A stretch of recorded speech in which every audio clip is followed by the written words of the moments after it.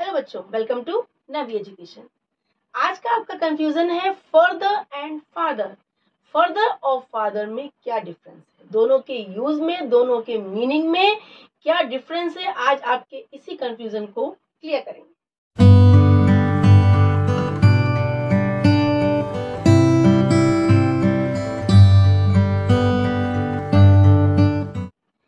Further और father क्या है? ये फर्दर और फादर ये ऐसे वर्ड्स हैं जो हम सेंटेंस में एज एन एडवर्ब या एज एन एडजेक्टिव यूज़ करते हैं। ओके अब इन दोनों में क्या डिफरेंस है? इन दोनों को हम रिप्लेस एक दूसरे की जगह पर क्यों नहीं कर सकते? क्यों? क्योंकि फर्दर का यूज़ करते हैं हम सिंबॉलिक डिस्टेंस के लिए फिगरेटिव या मेटाफोरिकल डिस्टेंस यानी प्रतीकात्मक, यानी इमेजिनेटिव जिसको कि हम गिन नहीं सकते, जिनको कि हम मेजर नहीं कर सकते, ठीक है? ऐसे डिस्टेंस के लिए हम फर्दर का यूज़ करते हैं। कैन नॉट बी मेजर्ड ऐसे डिस्टेंस को हम मेजर नहीं कर सकते, उस दूरी के लिए हम फर्दर का यूज़ करते हैं, ठीक है? अब फादर होता है physical distance can be measured यानी ऐसी दूरी, ऐसा डिस्टेंस जिसको कि हम मेजर कर सकते हैं, नाप सकते ठीक है? अब आपको समझ में आ गया होगा दोनों की क्या मीनिंग है। फर्दर को हम यूज़ करते हैं ऐसी दूरी, ऐसा डिस्टेंस जिसको कि हम मेजर नहीं कर सकते। और फादर ऐसी दूरी, ऐसा डिस्टेंस जिसको कि हम मेजर कर सकते हैं, नाप सकते हैं। ठीक है? अब इन दोनों के यूज़ को हम सेंटेंस से समझेंगे, जिसको आपको, जिससे आपको इन दोनों का जो डिफरेंस है, वो एकदम क्लियर हो जाएगा। फ़र्स्ट देखिए my friend needs further instructions क्या मतलब हुआ? मेरे फ्रेंड को ज़रूरत है और आगे के और इंस्ट्रक्शंस की। यानी फर्दर इंस्ट्रक्शंस के लिए और ज़्यादा और आगे इंस्ट्रक्शंस के लिए यहाँ पर फर्दर का यूज़ किया गया है। तो ये क्या हुआ? आपका सिंबॉलिक डिस्टेंस हुआ। कोई आपका फ़िज़िकल डिस्टेंस नहीं हुआ। यानी और ज़्यादा आगे इंस्ट्रक्शंस के लिए उसको समझाने की ज़रूरत है मेरे फ्रेंड को। ठीक है? क्लियर हुआ? देखिए इससे। नेक्स्ट देखिए I will help you further मैं आपकी आगे हेल्प करूँगा। यानी आगे टाइम में, आगे लाइफ में जब आपको ज़रूरत होगी, तब मैं हेल्प करूँगा। यानी यहाँ भी कोई ऐसी फ़िज़िकल दूरी शो नहीं हो रही है। ठीक है?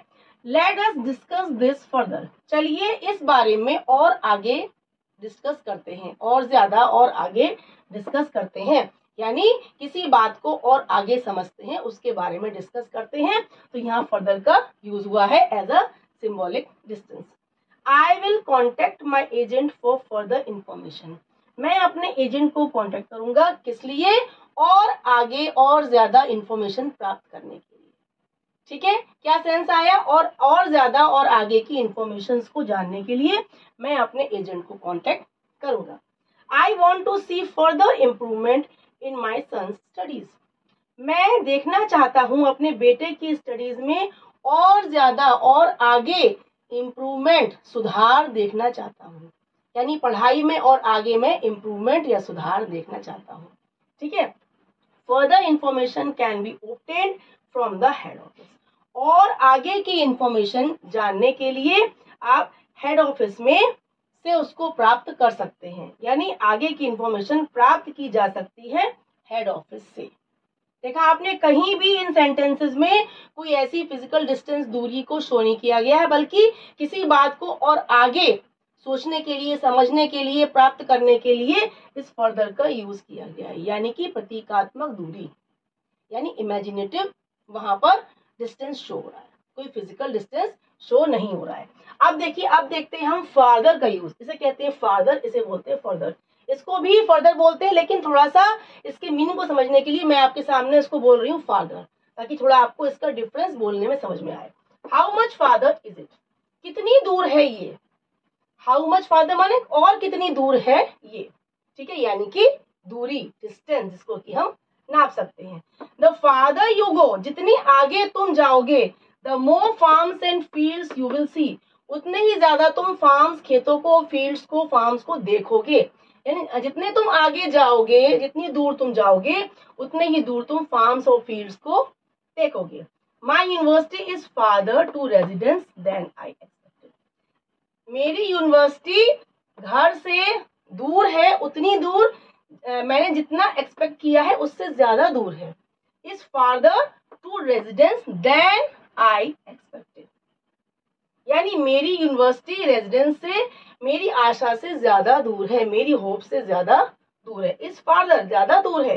घर से रेजिडेंस से जितना कि मैं उसको होप करता हूँ एक्सपेक्ट करता हूँ।